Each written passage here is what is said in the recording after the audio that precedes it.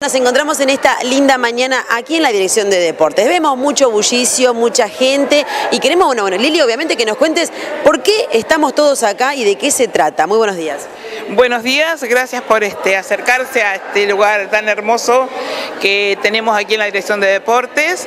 Eh, gracias a la gestión de Ricardo, de Camilo, de Guillermo Escarafía, que yo estoy a cargo de los adultos mayores que nos permiten este, trabajar.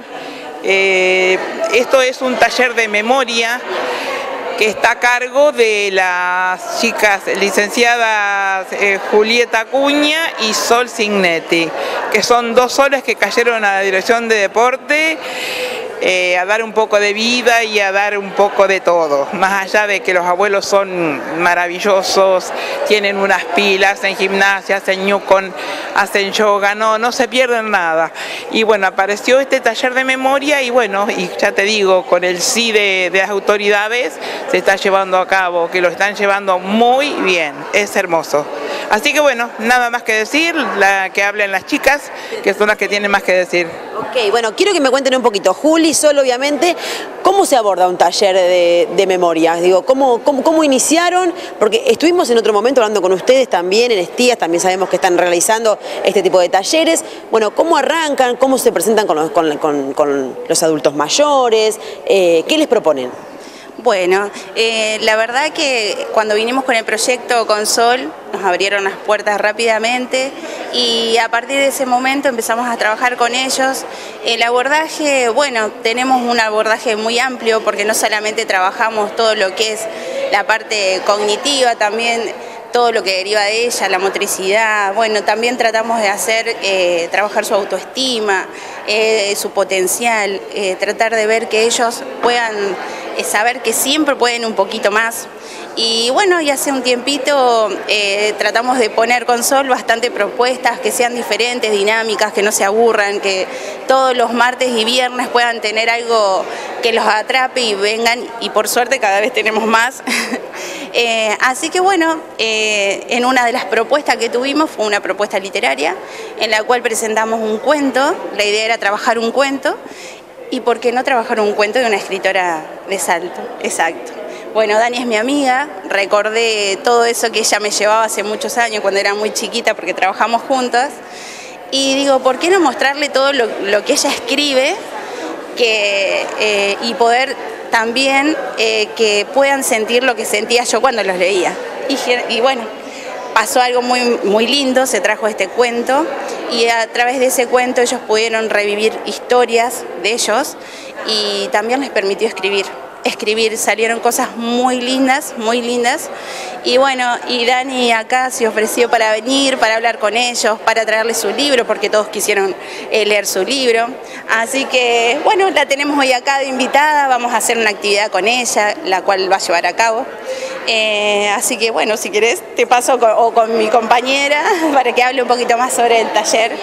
Yo quiero saber, la escritora local, ya hemos estado hablando con ella, pero sabemos que ha hecho un libro. ¿Hay posibilidades de que haga otro o yo estoy muy ansiosa? Sí, ya está en proceso, sí, está en proceso. Se complica un poco por los tiempos y todo lo que sea, cuestión económica, como todos sabrá, pero sí, el libro está terminado y es cuestión de tiempo. Y me lo están pidiendo, así que bueno, espero que en el transcurso de este año pueda surgir, así que bueno. Y quiero saber un poquito, ¿qué, qué sentís vos o qué te, qué, qué te parece a vos eh, ser parte de este tipo de talleres? La verdad que estoy contentísima, súper orgullosa porque, eh, o sea, yo les tengo un, un, aprecio muy grande a todos los que sean los adultos mayores y no quiero que se pierda todo lo que ellos saben. Y hoy en día, con toda la tecnología, eh, la nueva generación se está perdiendo un montón de cosas de los abuelos. Entonces me parece que la idea que tuvimos con las chicas, hacerles recordar a ellos y hacerles escribir algunas líneas de los que ellos vivían. Hay una variedad de edades, eh, entonces hay una variedad amplia de cosas que han vivido y la verdad que fue maravilloso, maravilloso lo que hicimos en Istía y bueno, y ahora lo que vamos a hacer acá. Súper contenta. Espero volver porque realmente me encantó, me encantó estar con ellos. Bueno, Sol, sabemos que también sos eh, del equipo de Juli, son las que están como a cargo, ¿no es cierto?, de este, de este taller, eh, y eso queremos saber justamente. cómo, cómo se preparan para esto, qué, qué, les pasa a ustedes más allá de lo profesional.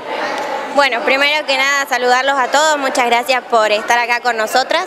La verdad que algo que siempre charlamos con Juli es que nosotras nos sentimos unas participantes más del taller, eh, no lo sentimos como una carga ni como un trabajo, nosotras venimos, la pasamos bien, nos divertimos, eh, nos complementamos de una manera que no se puede explicar, cada una tiene, tiene lo suyo y hace que eso forme un gran equipo entre las dos.